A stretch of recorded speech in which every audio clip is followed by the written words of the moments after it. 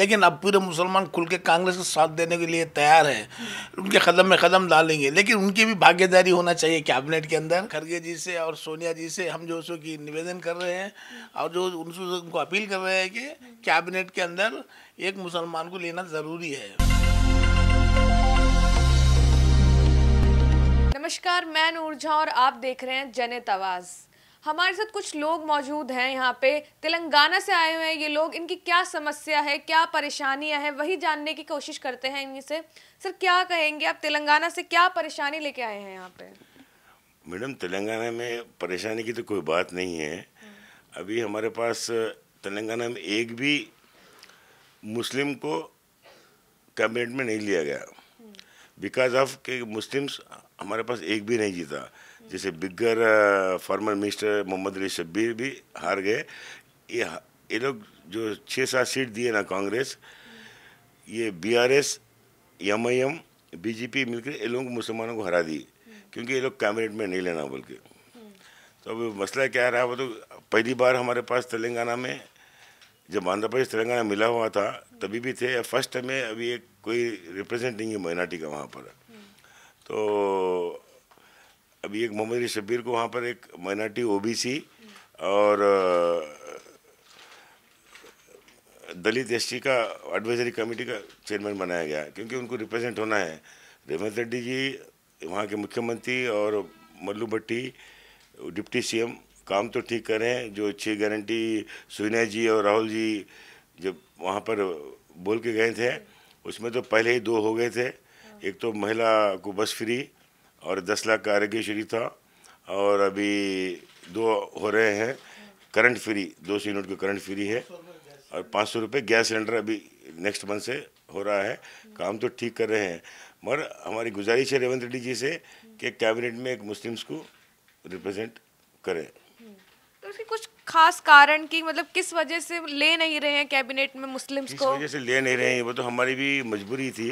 जो छः सात सीट जो मुस्लिम्स खड़े थे ना ये एक भी नहीं जीता उसमें। तो मतलब कहाँ से लेंगे उन्होंने जैसे बीजेपी बीआरएस मजलिस मिलकर ये कांग्रेस के तमाम लोगों को हरा दिए। हराने की वजह से अभी एक भी हमारा कैंडिडेट नहीं है मुस्लिम्स।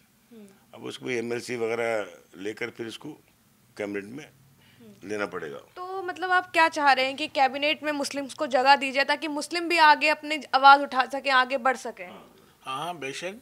अभी तो तेलंगाना के अंदर पूरी मुस्लिम जनता कांग्रेस पार्टी के साथ है और पूरा खुल के वोट दी।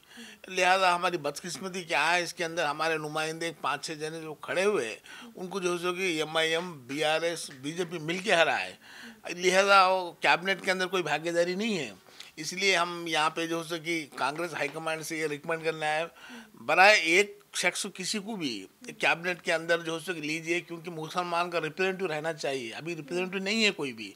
लिहाजा हम जो सो कि यहाँ पे खरगे जी से और सोनिया जी से हम जो सो कि निवेदन कर रहे हैं और जो उनसे उनको अपील कर रहे हैं कि कैबिनेट के अंदर एक मुसलमान को लेना ज़रूरी है।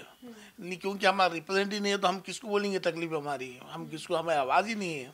लिहाजा बर मेहरबानी करके ये जो हाईकमांड हमारी गुजारिश को जो है कि इम्प्लीमेंट में लाती है भरोसा है हाँ, लेकिन जैसे भाजपा सरकार करती है वैसे कांग्रेस सरकार नहीं करती सबको साथ में ही लेके चलती है वैसे बिल्कुल बिल्कुल कांग्रेस है सबको साथ सबको साथ लेके चलने वाली पार्टी है।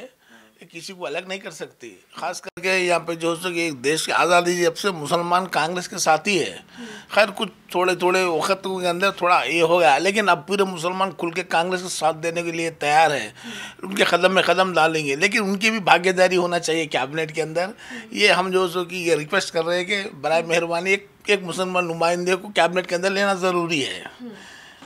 तो मतलब मुख्य तौर पर आप लोगों की मांगे क्या है कि एक कैबिनेट में मुस्लिम को लेना ज़रूरी है और इसके अलावा कोई और मांग?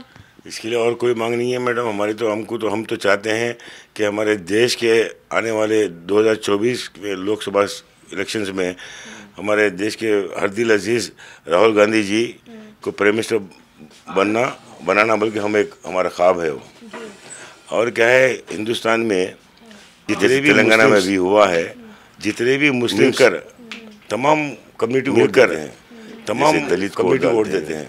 और जैसे दलित को डालते हैं। ब्राह्मण को रेड्डी को डालते हैं। क्रिश्चियंस को जब डालते मुस्लिम खड़ा तो फिर ये लोग नहीं डालते हम वोट। जब मुस्लिम खड़ा तो फिर ये लोग नहीं डालते हम वोट। ठीक है ठीक हाँ।